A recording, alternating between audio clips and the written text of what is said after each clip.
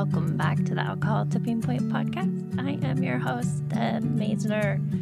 I'm a registered nurse, health coach, and AFBA, that's Alcohol Free Badass. I wanted to come on the show today and record because today is January 1st, 2023, and this is my three year alcohol free anniversary.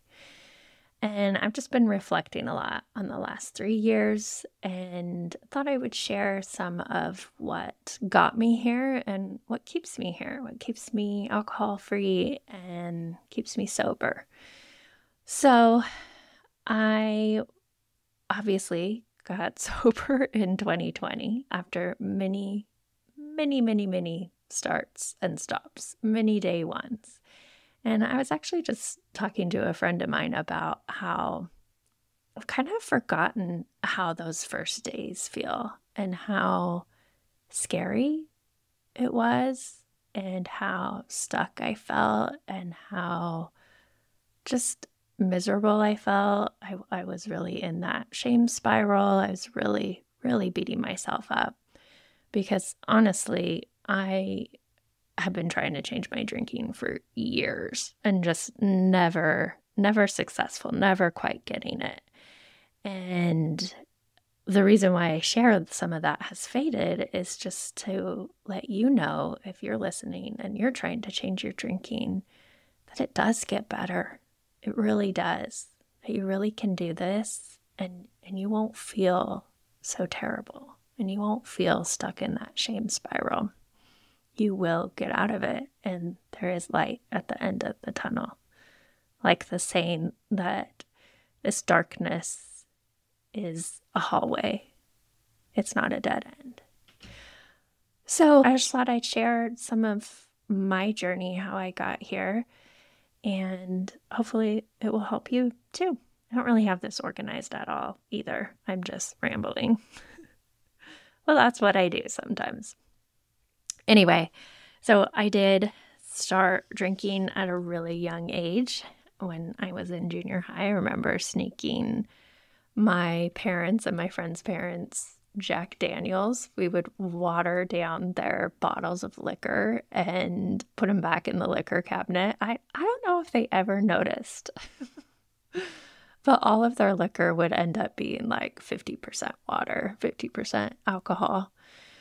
And I just remember really liking the feeling right away and just wanting to keep doing it, wanting to keep drinking, wanting to keep finding that, finding that escape. And and it was a fun thing for me. It was fun. And it was what everyone was doing.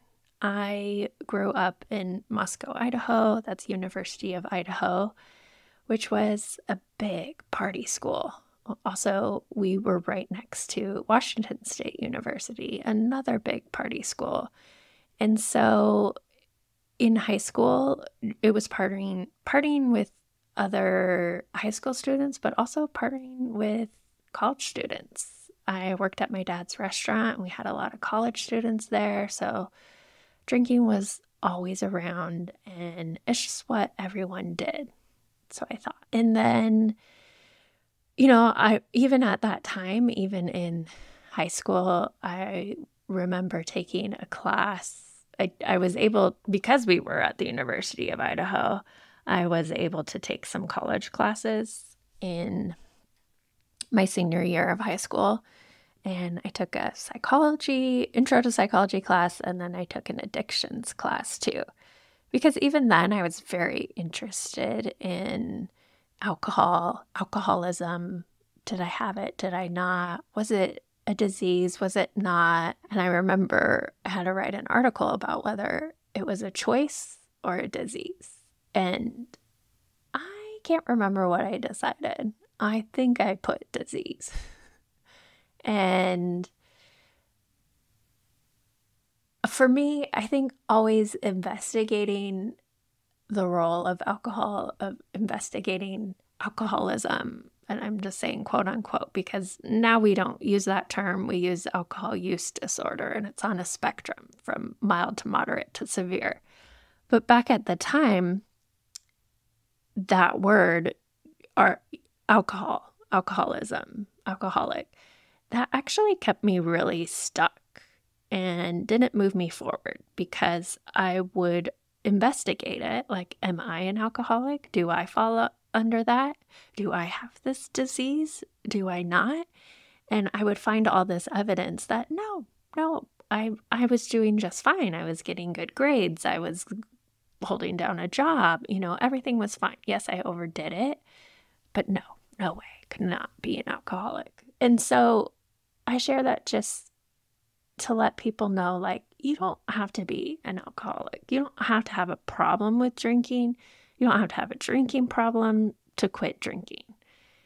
Now we know so much more about the effects of alcohol on your health, on your physical health, on your mental health that you can just stop drinking because it's a poison, it's a carcinogen, and it's shit for your health. But at the time, I I was really in that mindset of people don't quit drinking unless there's something wrong with them. That there's something broken with them. And I just refused to acknowledge that there was anything broken with me. And it's interesting now as I reflect back on thinking about that. I, I do agree that there is nothing wrong with you. You are not broken.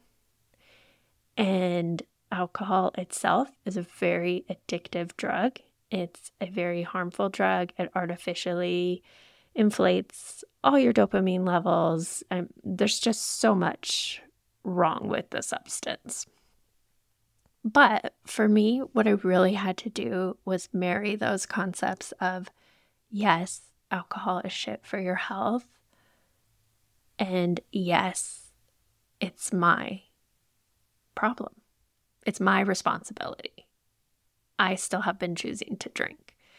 So, what was so helpful for me, I remember reading Laura McKowen's book, We Are the Luckiest, and she has this statement of nine things that she has in the front of her book. And it says, It is not your fault. It is your responsibility. It is unfair that this is your thing. This is your thing. This will never stop being your thing until you face it. You cannot do it alone. Only you can do it. I love you. I will never stop reminding you of these things. And I remember reading that in January of 2020, which as you recall, here we are 3 years out. And for me, that was that was what clicked. That was how I could move forward. That it's unfair. This was my thing. And it would never stop being my thing until I faced it. And I think I, I was finally able to accept that drinking no longer served me, that I, I couldn't moderate. If I could have, I would have. We say that a lot about moderation. If I could have moderated, I would have. But I didn't want just one. What is the point of one, honestly? Even now, I'm like, fuck that. No, I never wanted just one. I always wanted more. And so I just had to get to a point where I was just done with drinking. And I think for a lot of people, that takes time to get to that point. It really, really does. Because there there's still something you get out of drinking. You know, you you do get a buzz. You do get numbed out. You do get to tap out, right? And so once you're able to accept that you're not going to have that buzz anymore, and that's okay because the trade off is so much bigger, then you can move on. But I don't think that you get to that point until you give yourself breaks from drinking. I don't think you get to that point until you start to explore your relationship with alcohol. And you can do that by listening to these podcasts. You can do it by reading quit lit. You can do it by joining a group. You can do it so many different ways. And you don't have to be perfect about it. And so I think that is what keeps people stuck. And I think that, I mean, I know that is also why I say practice. Practice not drinking. You don't have to be perfect. Just see what it's like. See what it's like just for today, not to drink. Okay, see what it's like for a week not to drink. See what it's like for a month. You don't have to quit forever. I mean, there's no guarantee forever. I, I did hear Annie Grace talking about how she doesn't say, like, I'm done drinking forever, like, I'm done. And the reason why was because how would she know when she hit her goal? How would she know? She would be dead. And so to me, I'm like, just for today, just for today, I'm not drinking. I feel more solidified in in my alcohol freedom and my sobriety. I I feel okay calling myself sober. I know that for a lot of people that doesn't resonate with them. And that's okay. You just need to find what resonates for you. And so I I think that the journey of getting to being alcohol free, I think I had to go through that to get to where I am now. I had to I had to have those day ones again and again. I had to learn again and again that drinking wasn't serving me. And I had to unlearn all of the benefits I thought alcohol was giving me. You know, I, I thought that it was relaxing me. I thought it was making me more social. I thought it was reducing anxiety. And I had to unlearn all that. And that takes time. That takes a lot of time. I mean, I was drinking from when I was 13 until 42, 43. I don't even know. Guys, I'm 45 now. 45. What was decades, decades of drinking. And so it takes a lot of time to unwind that. I will say that once I started questioning my drinking and really questioning it and taking breaks and doing like the this naked mind and the alcohol experiment, then I I opened some door in my mind and I could never go back to normal drinking. I I could never drink with without consequences, without feeling like shit, without just knowing that it wasn't right for me. I could never go back to drinking normally. It was just like I knew too much. It it was like ignorance is bliss in a way. And so once you open the door to like is drinking no longer serving me, then there's no going back because the answer is usually always yeah, drinking is not serving you anymore. And so, what made it stick in 2020 is is all those day ones, is all that practicing, is all that learning, all that reading. That's what led to making it really stick. I also got sober in the pandemic. And for me, that was a gift because there were no social events. Everyone was like holed up in their houses. And I know that for a lot of people, that's when they started drinking more. And for me, it was the opposite. It for me, it was easier not to drink because I had to be there for my kids. I had to be there for the homeschooling, quote unquote. I had to be there for work. I mean, you guys, I work as a nurse. It was kind of interesting because a lot of our area, we're in Idaho, the pandemic hadn't really hit then. So we got furloughed and hours got reduced, eh, or we would just work the nursing call lines or just do alternative things. Because the kind of nurse I am, I'm in corporate health and wellness. And so we do health screenings and we do health coaching and uh, wellness exams and things like that. Well, those things got put on the back burner. Everything got put on the back burner, which which was good, which was really allowed me to protect my sobriety.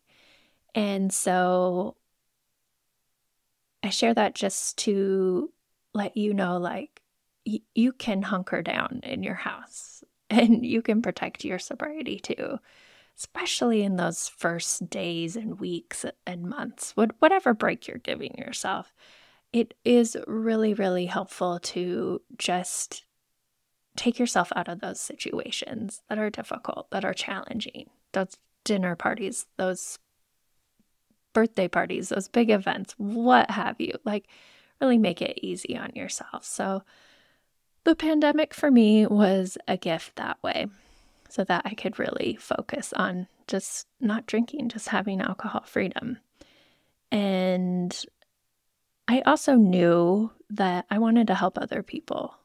I knew that I could use my nursing, my health coaching, my years of education. Just, I, feel like I have a PhD in quit lit or addiction, whatever, just because it's been a lot of reading and a lot of discovering and uncovering. And so I, I knew that once I got out, once I got on the other side, that I wanted to help people because I didn't want anyone to feel the way I did. And I'm so proud of the people that I have been able to help.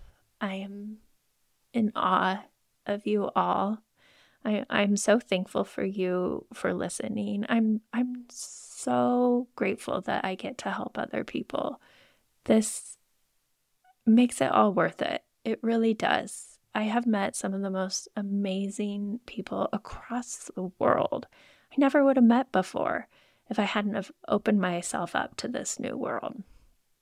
And I know it's scary. Here we are at the beginning of January, and there's been a couple messages about, wow, I don't know why, but I'm really scared to do this. I'm really scared to quit drinking. And I get it. I, I was scared to change too.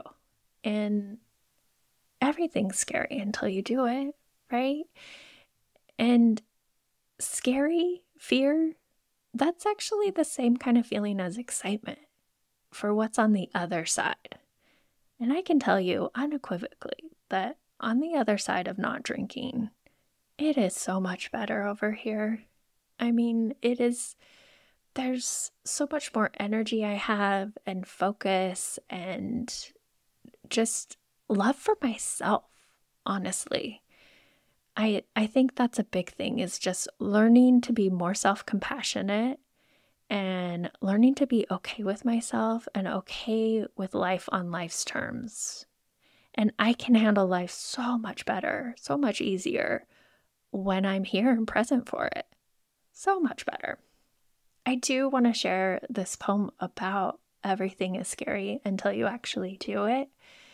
It's by Sonia Triggs Wharton, and I just happened to find it the other day, and I think it's really helpful. So it goes like this Everything is scary until you actually do it. Remember how afraid you were the first time you applied for a job, the first time you had to make a presentation, the first time you spoke in public? Or do you remember your first date with your significant other? How afraid you were when you contemplated getting married having children. If you had to do any of the above things, you probably were scared, nervous, afraid, maybe even terrified until you did it. And if you recall correctly, probably didn't turn out perfectly, but probably turned out all right. You got through it. You didn't make a fool of yourself. You lived to tell the tale another day. And you may have even tackled the same event or something even harder the next time. And you know what gave you the ability to do it? The fact that you did it the first time. You don't go from zero to 60 when you've never done something before. You go from zero to five, and then maybe five to 10. And then when you're feeling really confident, from 10 to 20. And maybe then from 20 to 40, then 40 to 60, when you finally reached your goal. But you didn't get there overnight, and you probably had to overcome your fears to get there. But you made it. You did it, and you lived to tell the tale. Just keep that in mind the next time you're presented with a new challenge that you don't want to do and you feel scared. Because everything is scary until you actually do it. I just think that's so powerful. You know, we don't go from zero to 60 the first time, but we start to get better and better. We go from zero to five, and then maybe five to 10, right? And that's what it's like when you quit drinking. Maybe you just quit drinking for one day, and then it's three days, and then it's four days, you know, and then it's a month. And then before you know it, maybe you have three years, like me. So, I want to thank you all for listening, celebrating this milestone with me. I I know that you can change. I really do. I believe in you. I know that you are worth it. And I want you to know that drinking doesn't make you bad, and not drinking doesn't make you good. You are a good person no matter what. If you're drinking or not, you are inherently good. You are worthy. And you can do this. You can do hard things. So I am over here rooting for you. Please reach out if you need anything. You can email me, deb at alcoholtippingpoint.com. And I just want to thank you again for listening and being part of my journey. And I wish you all the very, very best. And I'm holding up a heart. This is what we always do at the end of our meetings is we make that heart. Mm-hmm. the heart symbol with our hands. So I am just sending you lots and lots of love. Thank you so much. Thank you so much for listening to this episode of the Alcohol Tipping Point podcast. Please share and review the show so you can help other people too. I want you to know I'm always here for you, so please reach out and talk to me on Instagram at Alcohol Tipping Point and check out my website, alcoholtippingpoint.com, for free resources and help. No matter where you are on your drinking journey, I want to encourage you to just keep practicing, keep going. I promise you are not alone and you are worth it. Every day you practice not drinking is a day you can learn from. I hope you can use these tips we talked about for the rest of your week, and until then, talk to you next time.